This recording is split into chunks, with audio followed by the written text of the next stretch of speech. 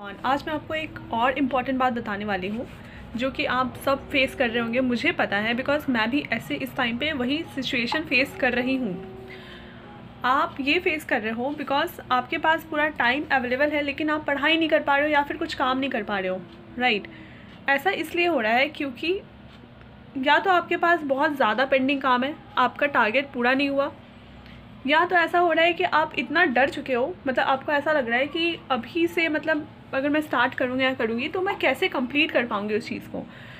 तो आप उस डर की वजह से सोच रहे हो कि अब तो हो ही नहीं पाएगा ये काम। कितना सारा काम है अब तो हो ही नहीं पाएगा बिल्कुल अब कुछ नहीं हो सकता मतलब अब फेल फेल हो गया। अब तो नेक्स्ट ईयर एग्ज़ाम होगा ठीक है? अगर ऐसा आप सोच रहे हो आपका माइंड सोच रहा है तो आप उसको लिखो डायरी में और डायरी में लिखो और थोड़ी देर वो तरीका दो मिनट दो दो मिनट में बता देंगे। तो आप क्या करो जल्दी में बताते हो दो मिनट आप दो मिनट मेरे पास टाइम है बस। तो आप क्या करो उसे डायरी में लिखो। डायरी में क्या लिखो? सबसे पहले आप ये लिखो कि आप क्यों नहीं कर पा रहे हो वो काम को। जैसे मैं अभी असाइनमेंट मुझे बनाना है लेकिन मैं आपसे बात कर रही हूँ क्योंकि मुझे यूट्यूब पर ज़्यादा मन कर रहा है अभी बनाने का बिकॉज़ मैं आपको बताना चाहती हूँ कुछ इंपॉर्टेंट बात। तो आप क्या करो उस मेन मेन पॉइंट्स को अपने नोटबुक में लिख लो जहाँ पे आप नोट्स पढ़ते हो कुछ भी तो आप उसे लिख लो। Why I am not able to study this much मतलब जो भी आपका रिक्वायर्ड टाइम है आप स्टडी क्यों नहीं कर पा रहे हो? रीजंस क्या है?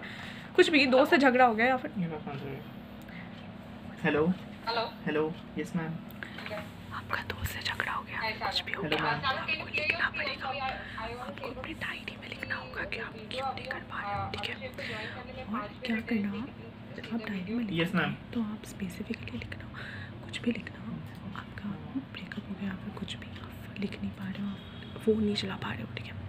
या फिर आपके घर में प्रॉब्लम हो रही है या फिर आप नहीं पढ़ पा रहे हो फिज़िक्स कंप्लीट नहीं हो रहा है या फिर बायो समझ नहीं आ रही है सारे प्रॉब्लम्स को आप लिख दो मॉक टेस्ट रिवाइज नहीं किया आपने सब प्रॉब्लम्स को लिख दिया। अब प्रॉब्लम्स को लिखने के बाद उसके सॉल्यूशंस आप लिखना स्टार्ट करो। ऐसे क्या कर सकते हैं जिसके वजह से आ, ये ठीक हो सकता है? फॉर एग्ज़ाम्पल जैसे मेरे साथ क्या हुआ मैं इंस्टाग्राम बहुत ज़्यादा चला रही थी तो मैंने इंस्टाग्राम को अनइंस्टॉल कर दिया। तो मैं रील्स नहीं देख पा रही थी तो ये प्रॉब्लम सॉल्व हो गया राइट फिर अ, मैं यूट्यूब पे बहुत ज़्यादा वीडियोस डाल रही हूँ तो मैं क्या करूँगी मैं थोड़े दिन के लिए यूट्यूब अवॉइड करूँगी नहीं चलाऊँगी। फिर मैं अ, मैं और पढ़ाई नहीं कर पा रही हूँ क्योंकि असाइनमेंट्स नहीं बना पा रही हूँ तो मैं क्या करूँगी अभी अभी नीट के प्रिपरेशन को थोड़ी देर के लिए रोक के मैं अपने कॉलेज का असाइनमेंट्स बनाऊँगी। बिकॉज़ मुझे ऐसा लग रहा है कि वो अभी के लिए ज़्यादा इंपॉर्टेंट है।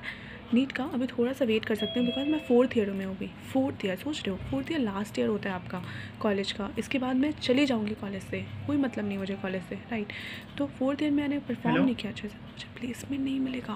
प्लेसमेंट कॉलेज में। पैसे नहीं मिलेगी। प्लेसमेंट इसलिए बोल रही हूँ। Hello? मेरे भाई का अभी। Yeah, yeah.